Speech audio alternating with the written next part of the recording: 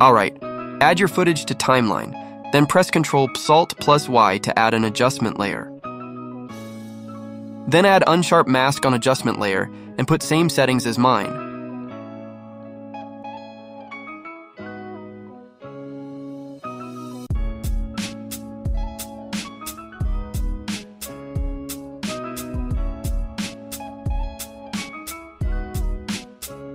Add sharpen and put the value on 10.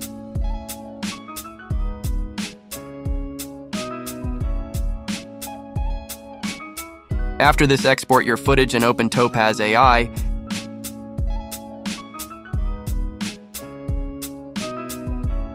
Add the video that you just exported and copy my settings.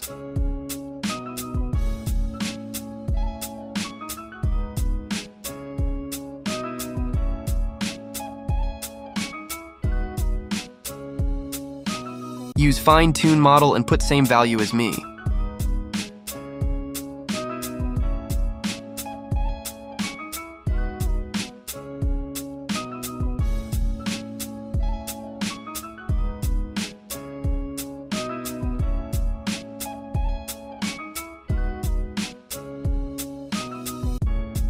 You can choose 200% for 4K resolution, but I don't recommend it if you're gonna post on Instagram. Instagram doesn't support higher resolution than 1080p and 30 FPS, so I'm just using denoise and then export it and you're done. If it helped you do subscribe to this channel and comment down below for next tutorial.